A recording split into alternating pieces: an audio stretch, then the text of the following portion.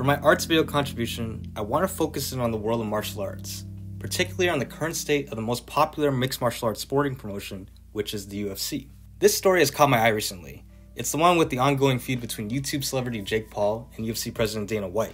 Now, as much as I'm disinterested in Jake Paul personally, including literally every part of the beef where they just accuse each other of using drugs and all that, what did catch my eye was when Jake Paul provided an offer to the UFC. He said that he would retire from boxing and fight UFC fighter Jorge Masvidal if the promotion agreed to 1. Increasing the minimum fighter pay per fight to $50,000, 2. Guaranteeing fighters 50% of UFC annual revenues, and 3 providing long term healthcare benefits, especially for fighters who are suffering from symptoms relating to inflicted brain damage. Unsurprisingly, Dana White responded to Paul by pretty much dodging all these issues regarding fighter pay altogether. Instead, he focused more on all of the drug related stuff, as well as some personal attacks on Jake Paul's manager.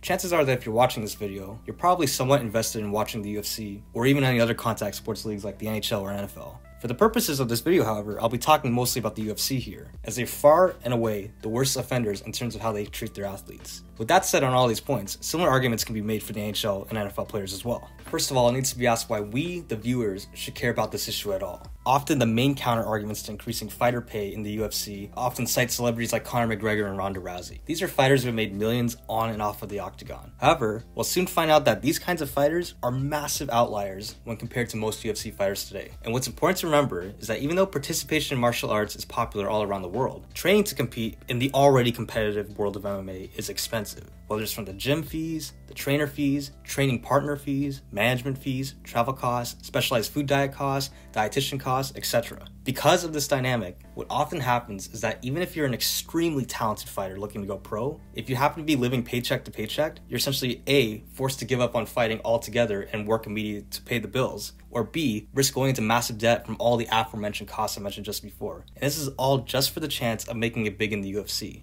The reason that I mentioned this hypothetical scenario is because for a lot of fighters today who are currently competing in the UFC, they're still on thin ice financially. Now, for the sake of research purposes, I wanted to calculate the stats of fighter salaries throughout a typical main UFC event today. The earliest one I could find where the State Athletic Commission actually released the official fighter pay info was back in UFC 263, which was held in Arizona in June of 2021. It was a solid fight card, highlighted by UFC superstar Israel Adesanya. I calculated the median fight salaries throughout the night to be around $69,000. Nice. However, these median averages changed significantly when comparing fights from the main card prelims, and early prelims. The median salary for fighters in the main card was about $241,000, while the median salary for fighters in the early prelims were just $38,000. However, unlike a lot of other professional sports leagues that offer annual contracts with at least some proportion of money guaranteed, the UFC utilizes a system in which fighters are paid on a per fight basis. All fighters receive a base show up salary when they show up to their fight and compete. The median show up salaries were $48,000, while the median show up salary for uh, early prelim fights were $24,000. At the highest end,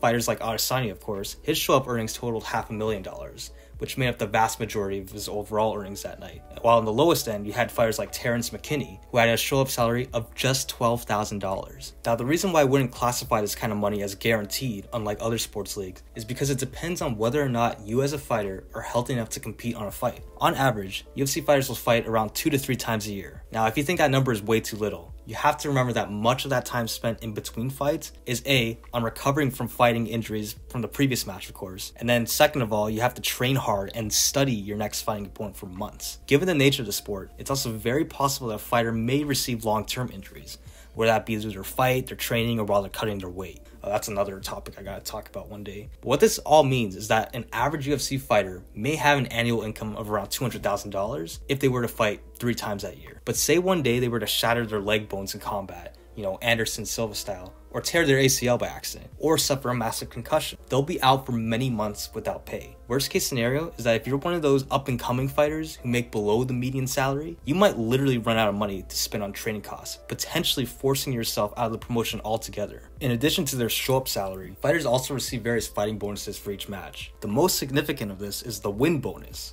where in most matches, the winning fighter receives about double the amount of what their show up salary was supposed to be. Some fighters can also receive a $50,000 quote unquote performance of the night bonus if they've had the most entertaining fight that night.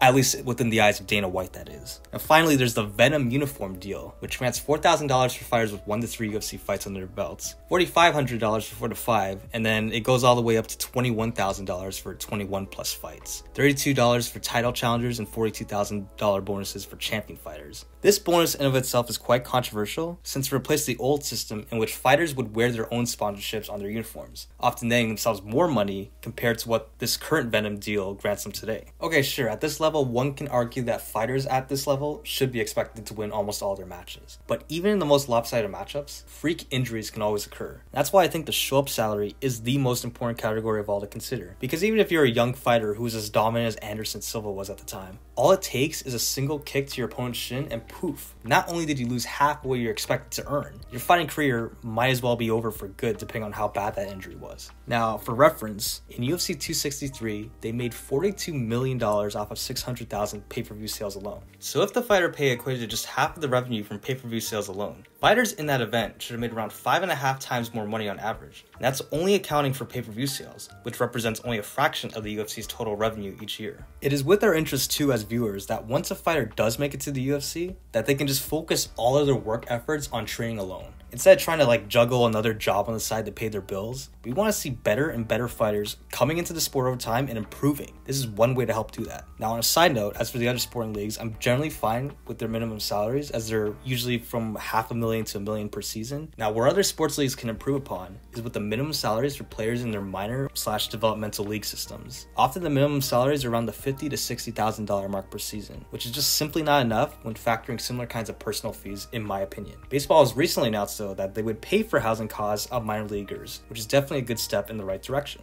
I'm hoping to do another video sometime in the future that addresses both the UFC and NFL's issues when it comes to protecting their players' long-term mental health. All I'll say for now on that subject is that according to a study from Current Skills and Aberdeen, around 24% of MMA fighters receive some form of brain damage, as 71% of all MMA injuries are head-related.